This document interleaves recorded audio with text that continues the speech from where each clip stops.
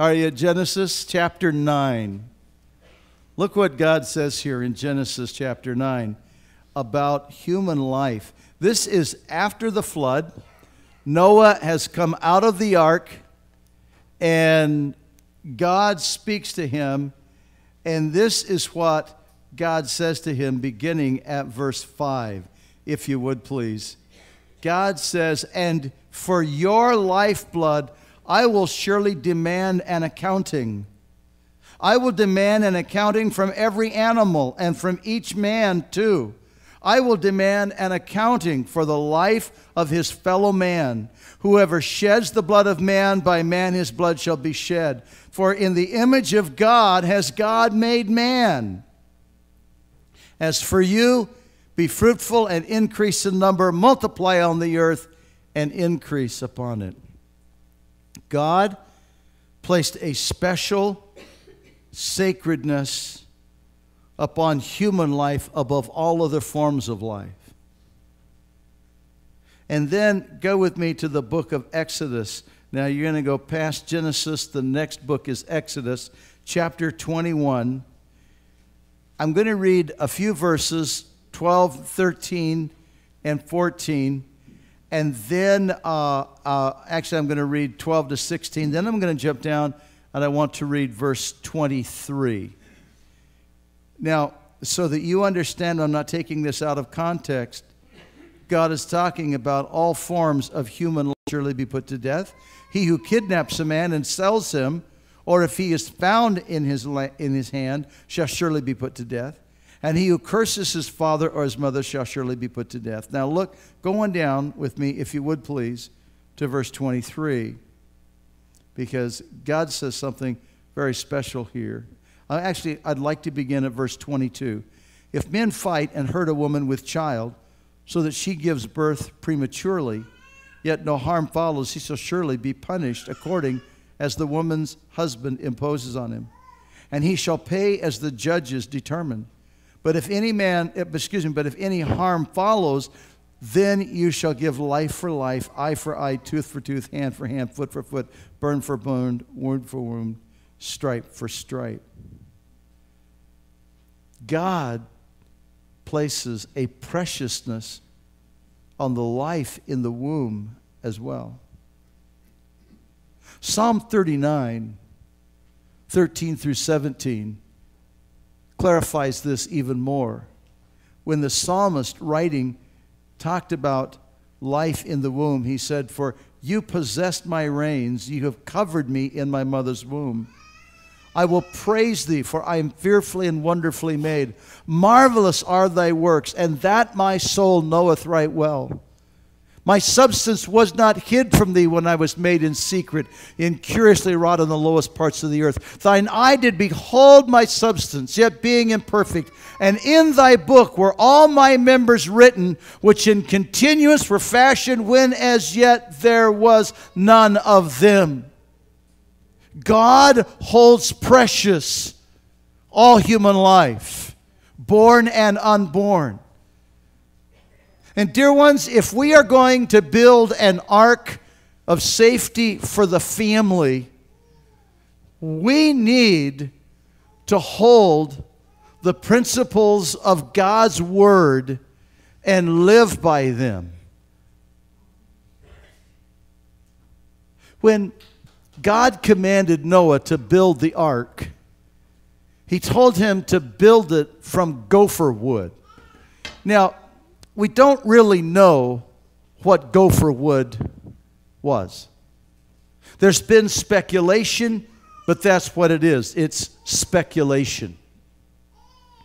What we do know is that it existed pre flood and that it was extremely durable kind of wood because it could withstand the extreme pressures of the flood and survive thousands of years, it is visible to this day on Mount Ararat in Turkey.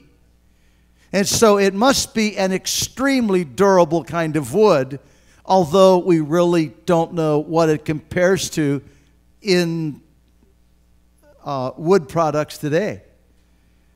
God said, make it of gopher wood. Now, how is that relevant to us today in building an ark for the family? If we are going to build a family, build an ark for the family that is going to withstand the heavy seas of life and the storms that are certainly going to come against the family, we need to build it of substance that will be able to withstand the most severe storms that life can throw at it. And there's only one product to build it from. And Jesus talked about it. Would you go with me to the Gospel of Matthew, chapter 7? And this is where we're going to focus the rest of this morning. Matthew chapter 7. Would you turn there with me, please?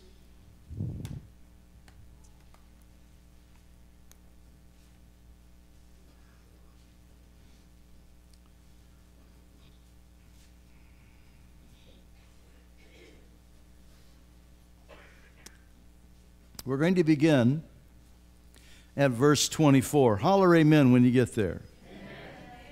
Okay, here we go.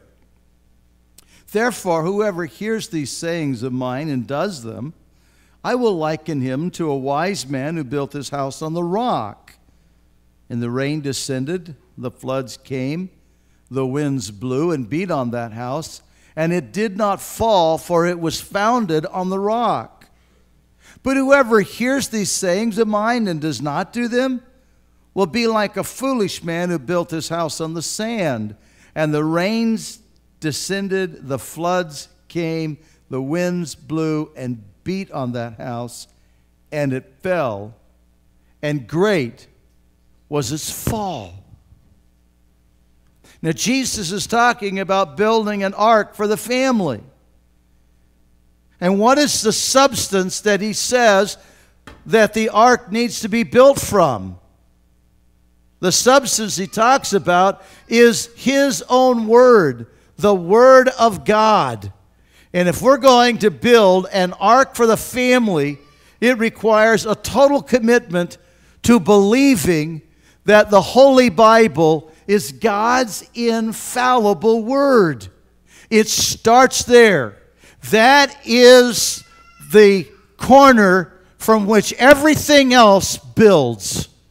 Believing that the Holy Bible is truly God's infallible, inerrant, unchanging Word. And that no matter the culture, no matter the generation, no matter the nationality, God's Word is God's Word infallible, and we build our life on it. That is why the psalmist said these words. He said, Blessed is the man that walketh not in the counsel of the ungodly, nor standeth in the way of the sinner, nor sitteth in the seat of the scornful but his delight is in the law of the Lord, and in it doth he meditate day and night. That man shall be like a tree planted by the rivers of water, that brings forth its fruit in its season, its leaves doth not wither, and whatsoever he doeth shall prosper. How many would like a life like that? Always fruitful, not withering, no matter how great the storms and even if you get frost at the wrong time, it'll still bring fruit. Don't we all wish we had trees like that in Hermiston? Okay. But God says that's what your life can be like. It could be like that. Look at what he said in 2 Timothy chapter 3, 16 and 17. The apostle Paul said, "And all scripture is given by inspiration of God." It's God breathed, literally. All scripture is God breathed, Old and New Testament. It's God breathed. Peter said it this way in 2 Peter chapter 1. He said, Holy men of old wrote as they were carried along by the Holy Spirit And listen, and it's of no private interpretation. You don't get to put your own interpretation on it. The scripture interprets itself. It tells you what it means, and it means what it tells you.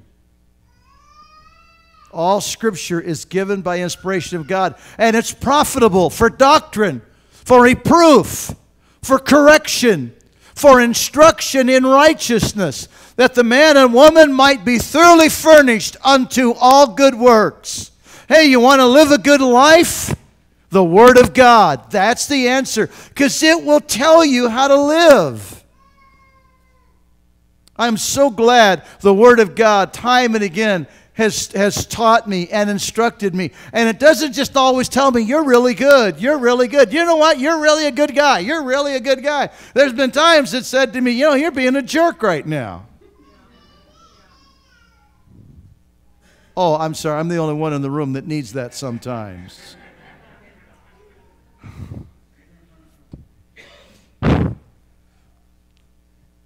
We have to be committed totally to the belief this is God's holy word, and God has the right to tell me how to live and what is right and what is wrong.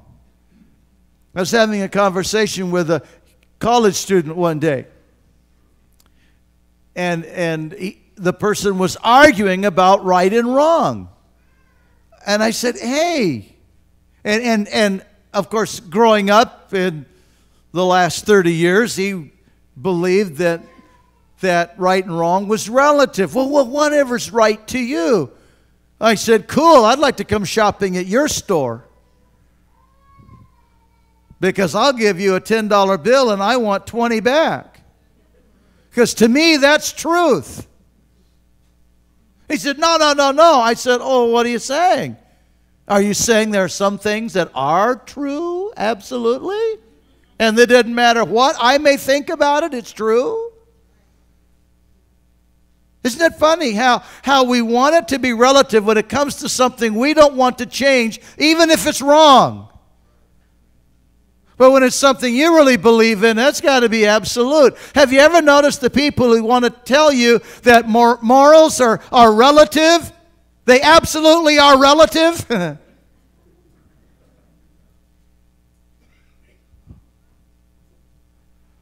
Folks, there is a body of truth. A body of truth that you can totally commit your life to, and it's God's holy word. Amen? In a few weeks, we're going to come back and we're going to study on why we know the Holy Scripture is God's infallible word that we can trust. How do we know that and why? I can't wait to share with you some of the apologetics surrounding that and how you can take that word and you can count on it. You can bank your life on its truth. Amen. But it's not enough just to believe that. The other part of it, we've got to obey.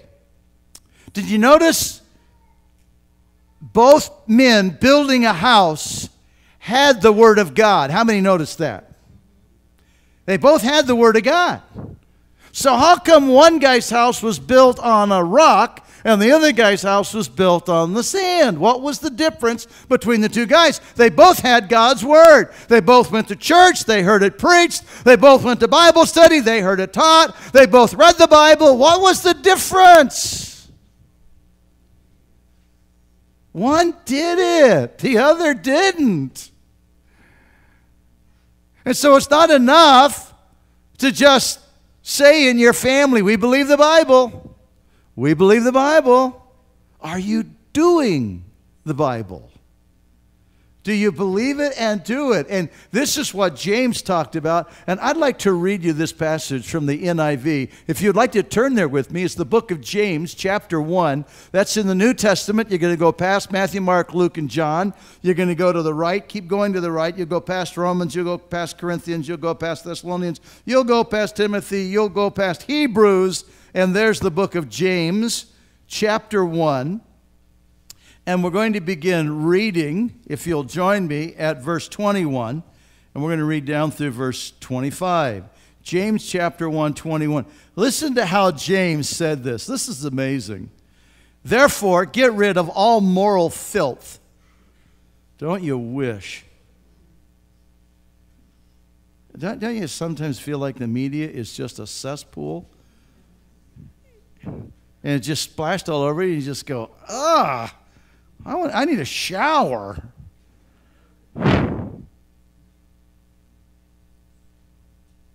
Get rid of all moral filth and evil that is so prevalent and humbly accept the word planted in you, which can save you. Do not merely listen to the word and so deceive yourselves. Do what it says. Anyone who listens to the word but does not do it is like a man who looks at his face in a mirror and then, after looking at himself, goes away and immediately forgets what he looks like. You ever seen some people in Walmart and you think, that's what they must have done?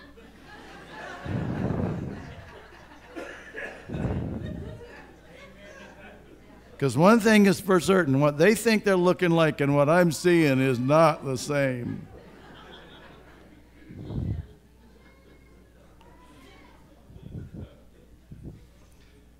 There are believers like that too.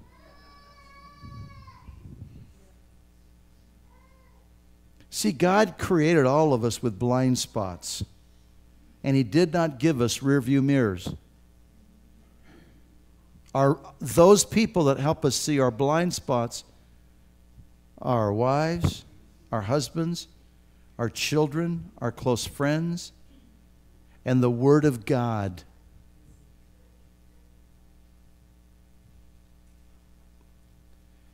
So that we can see our blind spots.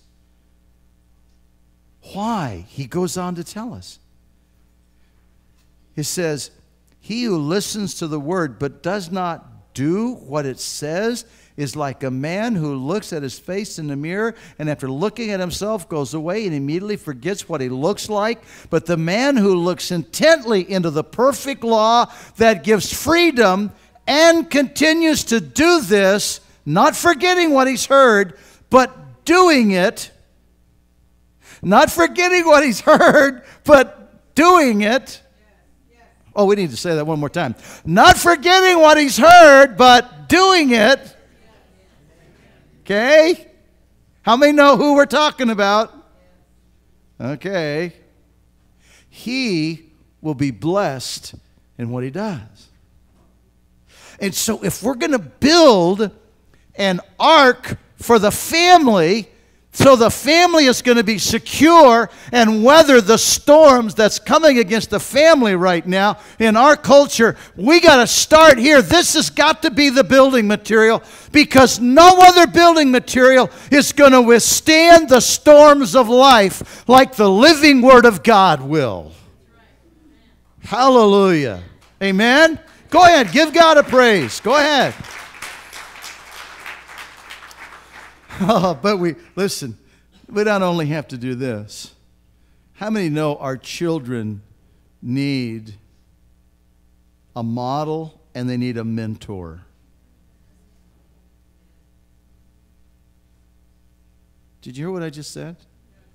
Our children need a model and a mentor. Now, can I, can I share with you a deep concern I have right now? And if you get mad at me, I guess you're just going to have to get mad at me, okay? But listen, this generation of parents are relying way too much on coaches and teachers to be the model and mentor. God gave them to you. Stop giving them away.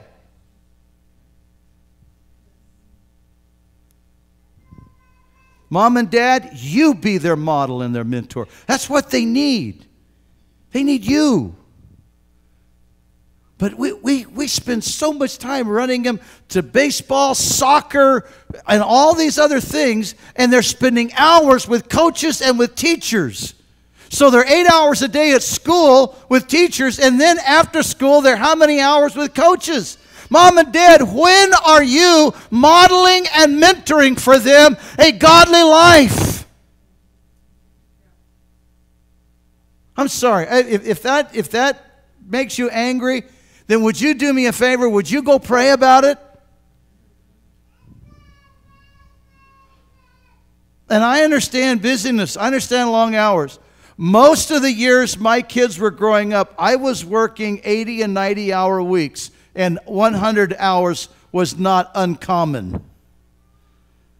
But I want to tell you something. I was always there for dinner, and I made sure I had a minimum of three nights a week at home when I didn't answer the phone. That was back in the old days when you had a phone hooked up to a wall and it really did ring.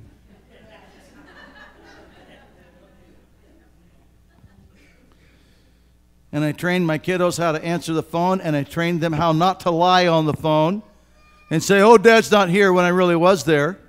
I trained them how to answer the phone and how to say, You know, I'm sorry he's not available right now. He'll return your call when he can. And the only, the only time it took me away, it had to be a death. Okay? Why? Because if I was so busy I didn't have time to mentor my own children and I lost my children, I'd lost everything.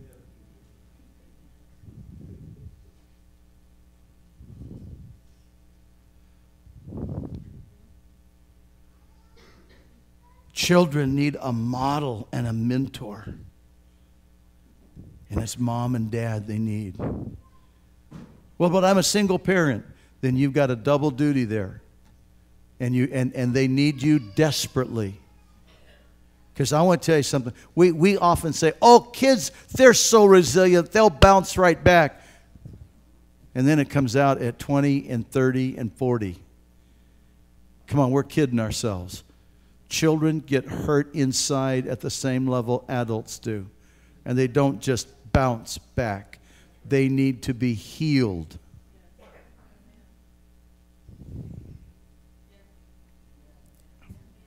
Are we okay?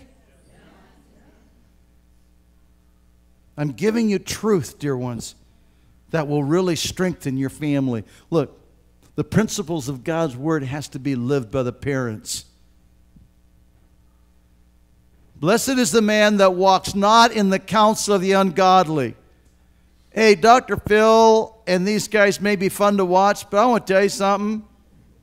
Don't walk by the counsel of the ungodly. Walk by the counsel of the Word of God. They don't stand in the way of the sinner. You're not going to learn much down at the bar, guys. You're not going to learn much about life down there. You might learn how not to live life down there. And I'm not saying give up your buddies. I'm just saying you have to have a body of truth that you know you can build your life on, and it builds on a rock. It will withstand the storms. Because we all go through storms. We are not promised a storm free life. Bad stuff even happens to good people in this sinful, fallen world. And when it does, what are you building your life with? Are you building it with gopher wood or are you building it with balsa wood?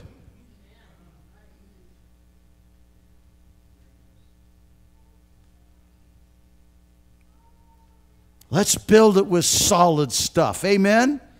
Your children have to see you living it out. And it doesn't work this way. You're sitting there smoking a cigarette and said, Don't you ever smoke. What? What? What are you saying? Do as I say, don't do as I do. What is that? Come on, they got to see it lived out. They got to see it modeled. They, there must be a systematic impartation of God's word to your children, not hit and miss. It needs to be systemic. It needs to be a planned way. I like what Paul wrote to Timothy before he said, and all scripture is given by inspiration of God. The verses just before that, Paul said this. He said, I want to remind you of the scriptures that you learned from an infant and that abide in you. Timothy's mother and grandmother poured into Timothy the Word of God from his earliest days. A systematic way of teaching and training your children God's Word. Do you have them memorizing God's Word? Are you memorizing it with them? I shared with you last week that our, our oldest daughter, for a long time, thought that Psalm 23 was repeated twice. Because we would say it, and then she would say it, and we would say it, and then she would say it. And for a long time, when she quoted Psalm 23, she'd say, The Lord, the Lord, is our, is our shepherd, shepherd. I shall, I shall, not want, not want. Because remember that? Because we, from the earliest days, when our children began to speak, we began having them memorize the word. Why? To put in them the substance that builds a strong life that can withstand the storms of life without crumbling. But then we also had to give them a model of how to live it out. How do children know how to live it out if you don't help them grab the concepts? We wanted our daughters to learn the concept of dressing morally, not dressing in the immoral fashions of the world, and to love dressing morally. It's not just enough that they keep a list of rules, they have to love it, remember? And his delight is in the law of the Lord. We wanted them to delight in the Word of God, to delight in its principles and precepts, to love it. So one day we, we took our girls to SeaTac Airport. And Wanda took one and I took the other. And we kind of stood and we said, here's what, here's what we want you to do. When a beautiful woman goes by that has a lot of cleavage showing and has a really short dress, watch the guy's eyes. Just watch their eyes. That's all I want you to do. Just watch the guy's eyes. And so we, we and, and we, we were there for about an hour and we did that. And then we took them to lunch. And we said, okay, so tell us what you saw. Both of them, zit, their faces got really red and go, we can't talk. And I said, yeah, yeah, come on, what did you see? Oh, Dad, no, no, what did you see? What did you see? And we had them talk about it. And we said, So, I got a question. Is that how you want men looking at you? No. Okay, now you're getting the concept. Now, how then do you make sure men don't look at you that way? How do you draw attention to your face? Because the light of the soul is the eyes and the countenance. You want them looking at your face. How do you do that? And then Wanda began giving them tools to help know how. But if they don't understand the concept, how are they going to learn? And folks, we have a whole generation of young men and women today. They don't even understand the basic concepts of truth. And we as parents, we have to teach them, we have to model it, and we have to help them by training them how to make decisions based upon the Word of God. Come on, amen? This is building an ark. This is building an ark. And I got to tell you, this is why families are blowing apart today. It is because we have not built with solid material, we have built on sand. And it reminds me of the contractors back in the 1990s that tried to sue the state of Oregon because they had built a whole bunch of condominiums on the shore over uh, on the coast and they built the crazy things on sand. And of course, we had, as we seem to have every winter, had one of those uh, storms that came through with 1900 mile an hour winds and it blew them all down and they tried to sue the state of Oregon. I was reading that in the paper and I went, all you got to do is read Matthew chapter 7 and you'll know, duh.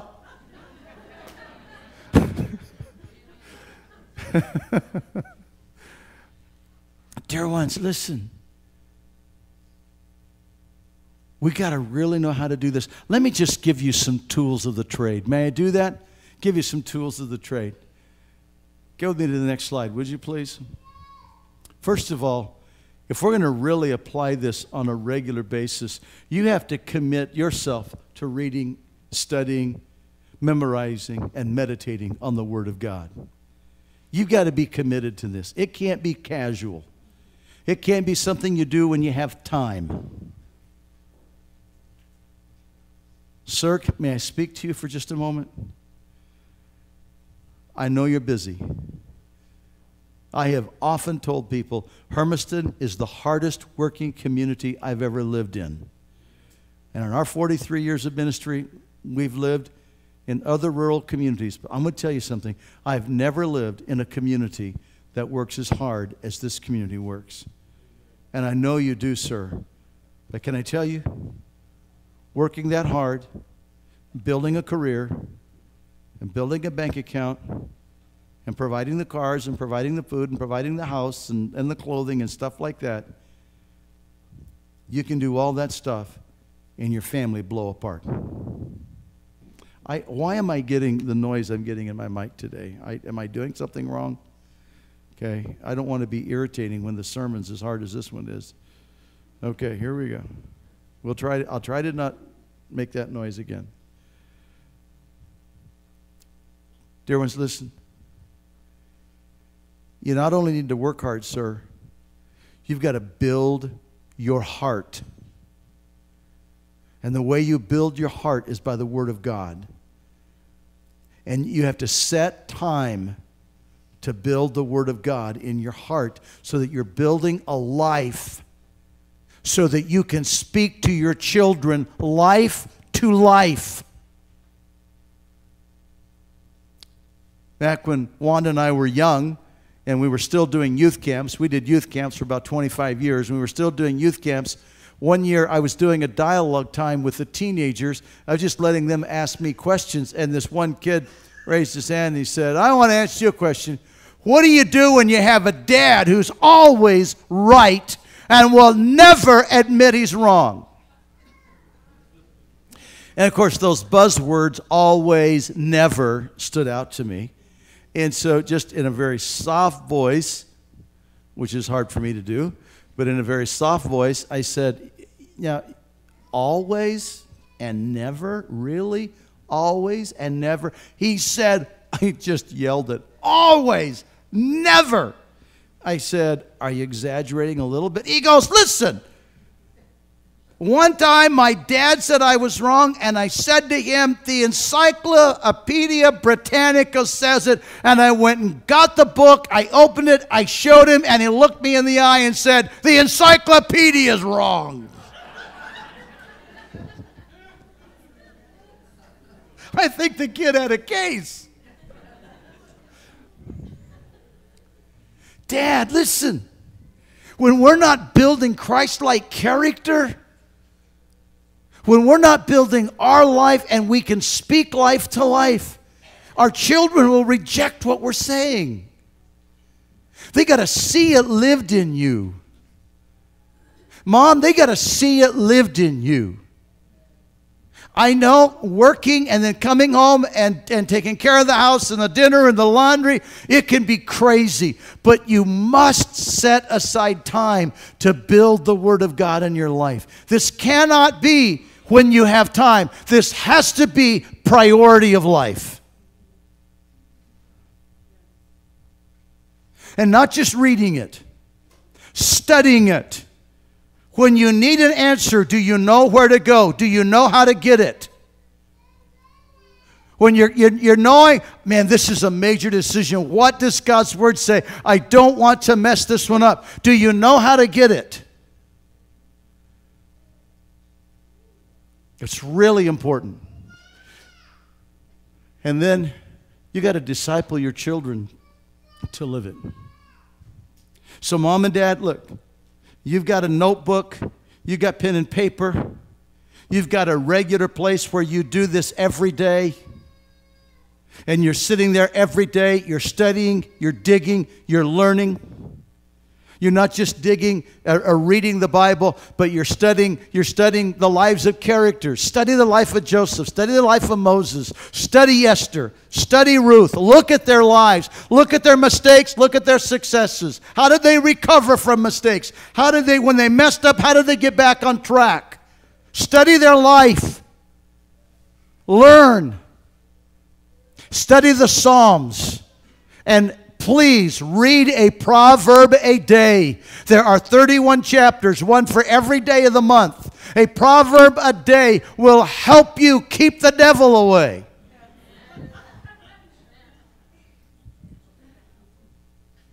You will learn wisdom from pro- the book of Proverbs.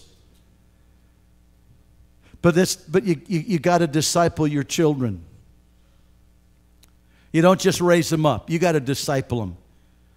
Some kids get yanked up. You got to disciple them. Some kids, they just swim through the maze and suddenly they're adults and they have no idea how they got there. You've got to disciple them. You've got to disciple them. You can't turn them over to Pastor Aaron and Infusion and say, Disciple my teenager. We can come along beside you and help you. You must disciple them. How do you do that? Let me give you one tool that will work. There needs to be at least one meal a day, the whole family's together. And it's not optional. At least one meal a day. Everybody's around the table. Every, everybody's around everybody's around the table. At least one meal every day. Everybody's around. I know we don't eat around the table today. We eat at McDonald's. We eat at Burgerville. We eat we eat at pizza place. We I know I know I one meal a day. Everyone's together around the table. And you eat together and you talk about life. You talk about the kids. You talk about their friends. That is not a time for kids to be silent and to be seen and not heard. No, no, no. You want to hear from them. You want to hear what's going on, what's going on, what's happening with their children, with their friends. And then, when everybody's done eating, you pull out the Word and you read the Bible, and everybody brings their Bible to the table with them. And everybody takes out their Bible and opens it up, even the two year old. And then everybody reads the Bible together and the children help read the verses. And if they're just learning to read, they can at least read the the, the a, and the can. And our kids started reading the Bible by reading about every second or third word of the verses because they couldn't read the big words. But they read the Bible. And we read the Bible together around the table. And then you discuss it. How does this apply to your friend that's in trouble over here? How does this apply to the fact that you got sent to the principal's office this week? How does this apply to the fact that you got in a fight on the playground? How does this apply? How does this apply to life? And you're discipling them. And between modeling it for them and teaching them in it, and helping them to make biblical decisions. By the time they are teenagers, they should begin to make biblical decisions. And when they got a really big decision to make, you don't make it for them, you help them to apply the principles of God's Word. So they are learning to make life decisions based upon the Word of God. We can do this. We can build an ark. Amen? Stand with me, would you please? We can build an ark. You can build an ark for that baby that's coming. You can build an ark for that new one that just arrived. You can build an ark for those teenagers. Now, listen to me. Grandma and Grandpa, build an ark. Build an ark for those grandkids. We do not have to lose a generation. We do not have to have our marriages blowing apart. When the storms of life come and they beat against your house, and they will, when you build it from the living Word of God, it'll stand. it'll stand a lifetime. It'll stand a lifetime. Those of us in this room, and there are many of us that have been married over 40 years, it's, we didn't get here by not going through storms. Some of us have gone through severe storms. Some of them health related, some of them relationship related. But because we built our relationships, because we built our life on the Word of God, we're still standing. And so can you. So I got a question. You building your life on the Word of God? You making life decisions based on the principles of God's Word? You building your relationships based on the principles of God's Word? Are you really building your relationships on the principles of God's Word? Really?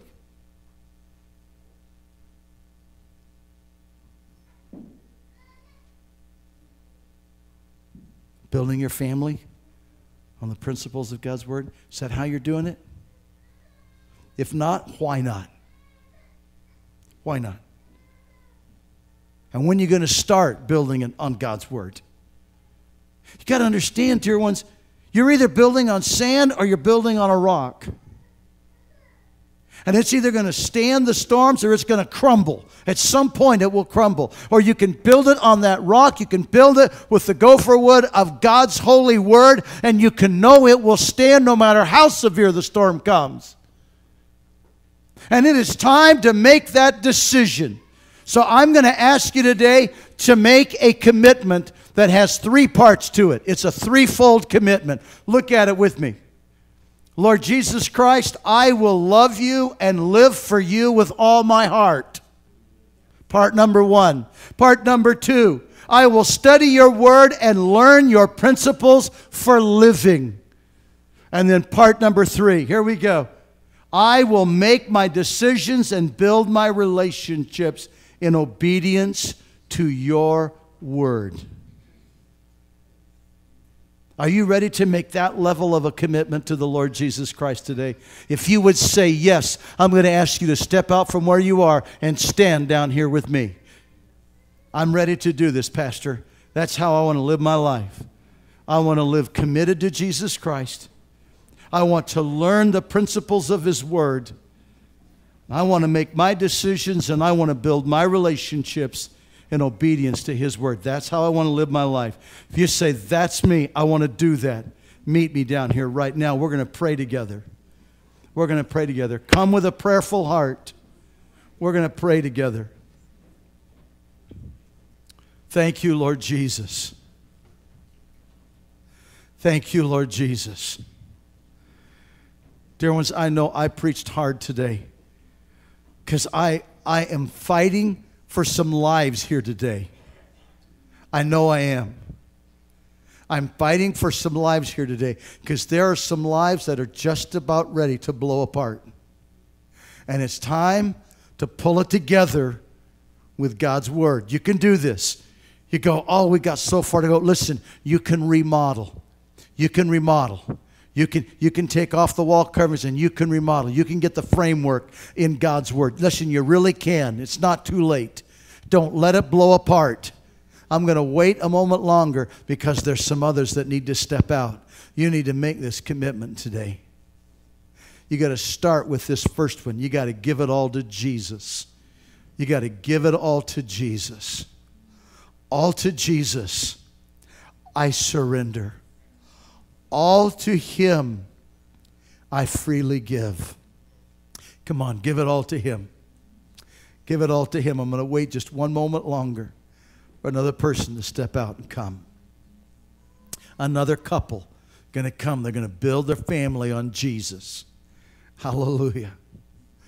Father, we are standing here today and we are saying to you, our whole life for the rest of our life. Given to you. Our whole life for the rest of our life. All, all given to you, Jesus. You be Master, you be the one in charge. Take our life, Lord Jesus.